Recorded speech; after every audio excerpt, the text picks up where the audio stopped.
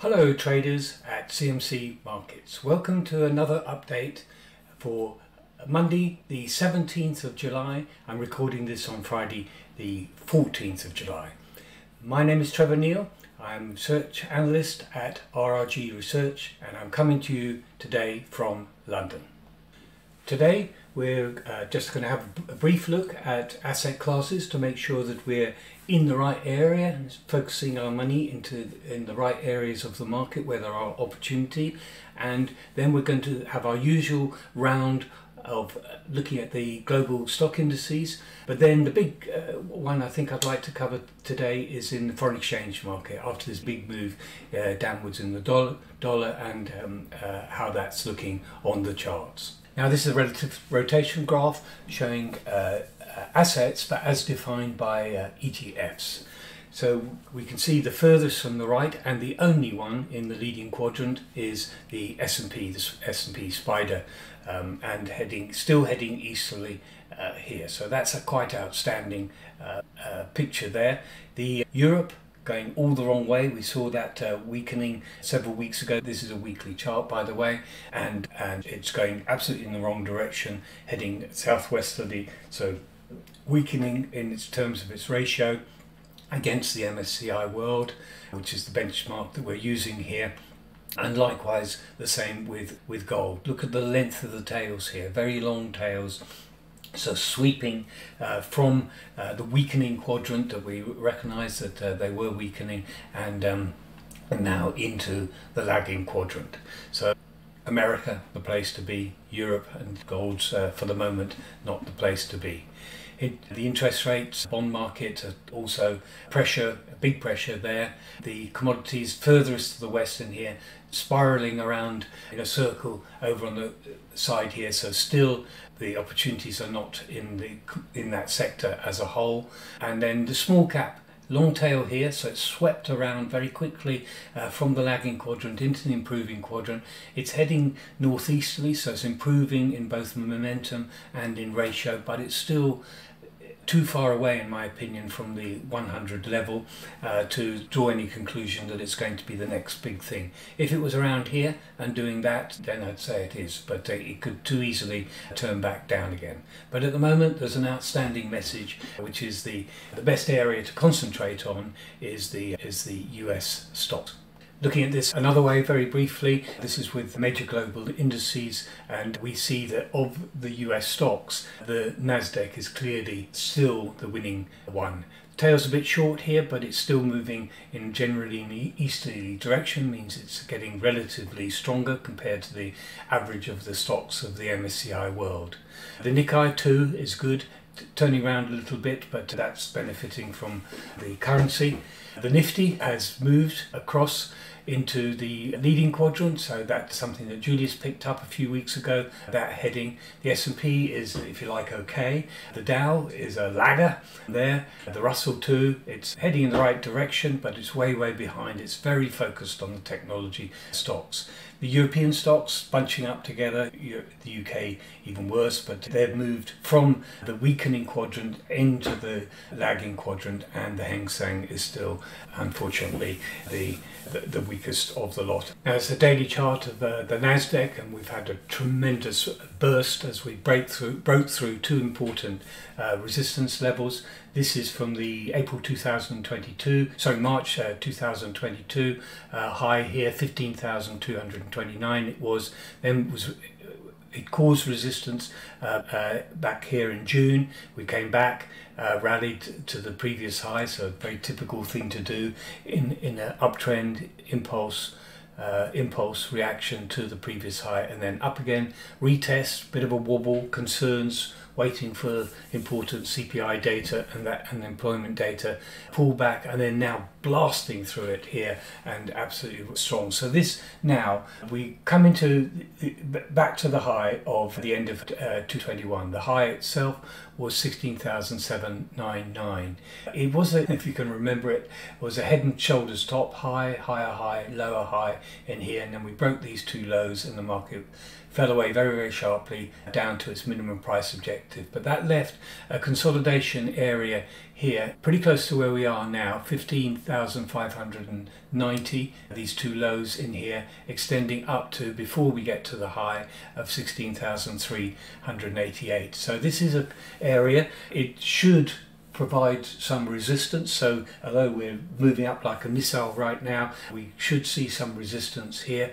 If it continues to behave this strong, look at that RSI there, absolutely rampant behavior there. It if you bring it like this and look at a chart like that, it's it really looking as as well. It's nearly crossing over. It will cross over as well. So a lot of power beware there's some resistance ahead but it's got a look on its face that is very bullish and looking like intent to make new highs. But just beware that ahead of it is there may be trouble ahead. But look at that pattern there. It's a thing of beauty isn't it? Higher lows pulling back every time to the previous high and then holding and then going up. It's a lovely long-term uptrend. One for your album, your technical analysis album of beautiful chart patterns. Just a brief look at that neglected child, the Hang Seng, because sign in the chart here, you saw in the in the RRG it was around in the lagging quadrant there, but turning around a little bit here, and it is looking like it might be doing something to improve itself. On a relative basis, of course, it's still in a downtrend when other things are in an uptrend. But we've we've put in a low, lower low, and then a higher low. We've got a series of uh, lower highs. I've put a dashed line in it because they may be, they're not lining up uh, uh correctly, but they are lower than each other.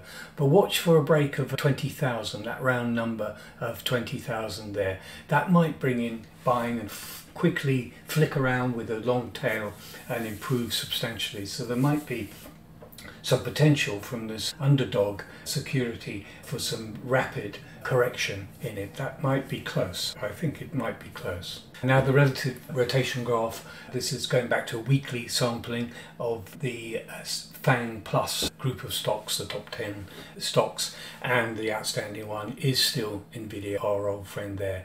MD is looking pretty good. Tesla's come round really substantially here, long, long tail here, so we did pick that up. The other ones are all outperforming the averages of the of not the average, the S and P itself. So this is the best area to be. They're all in the to to the right of it, but not really showing great sort of independent strength in the way that Nvidia is and Tesla is as well. This is a daily chart of the Nvidia. We're in a deep blue sky here. This is the previous high, that line there, and we gap through it. Very powerful message and it really is soaring up.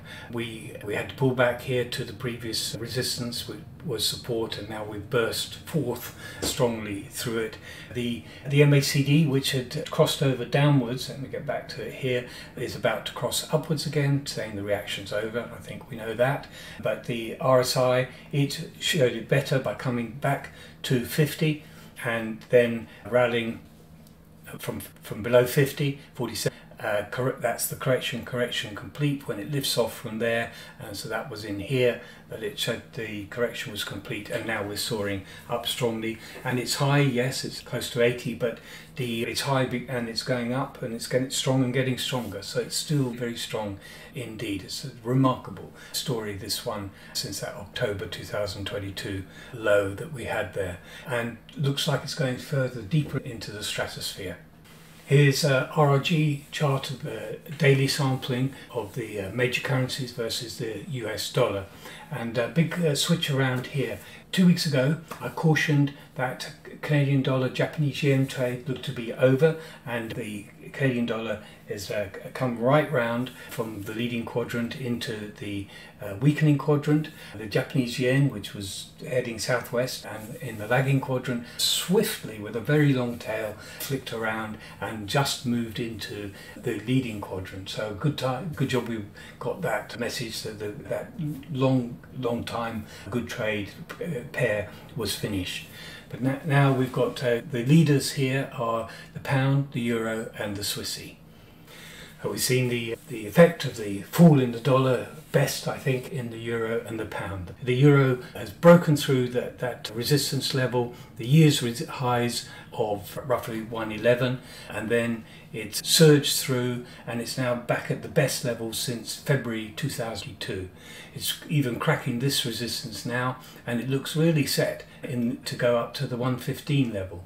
I think this is looking exceedingly strong, supported at the highs, the breakout highs of, um, of 111, I, would say it was, and then we have the indicators have gone very bullish at this point, at this breakout point, and you see the gap on the MACD is widening um, as we're getting more upside momentum, and we're, powering ahead on the RSI, small amount of uh, pro- profit taking possibly in the short term, but still a lot of momentum here. And now I think it is targeting uh, that uh, 115 level.